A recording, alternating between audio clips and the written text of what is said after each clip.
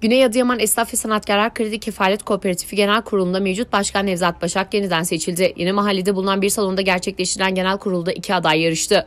Mevcut başkan Nevzat Başak ve Sırrı Dost'un yarıştığı genel kurulda polis geniş güvenlik önlemi aldı. Divan Başkanlığı'nı Esnaf ve Sanatkarlar Kredi ve Kefalet Kooperatifi 21. Bölge Malatya Bölge Birliği Başkanı İsmet Bayram'ın yaptığı genel kurulda 1600 delegeden 1476'sı oy kullandı.